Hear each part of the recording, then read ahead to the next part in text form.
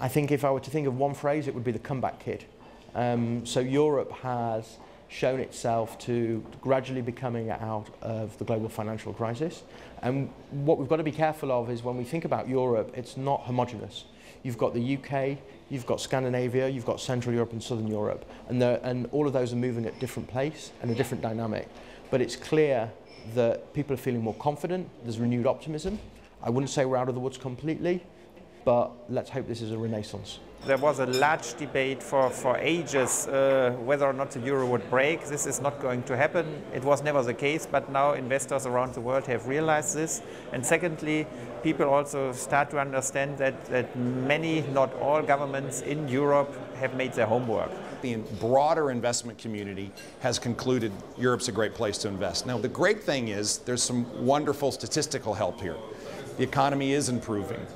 We have been able to invest in Europe at pricing for companies that has been in a discount relative to what we see around the world.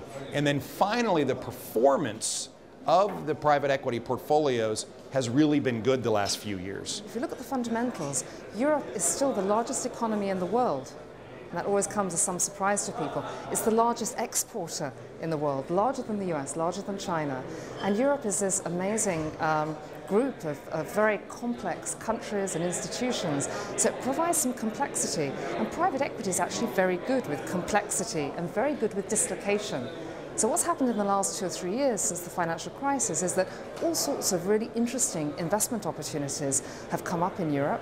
We continue to see good industrial opportunities where uh, maybe companies that have large global exposures but they haven't done the fixing yet in their footprint and we can do that.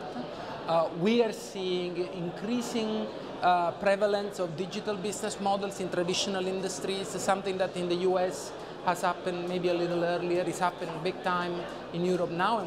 Europe, of course, they're always good companies at good prices, they're managed by good GPs, so it will always be part of our overall allocations.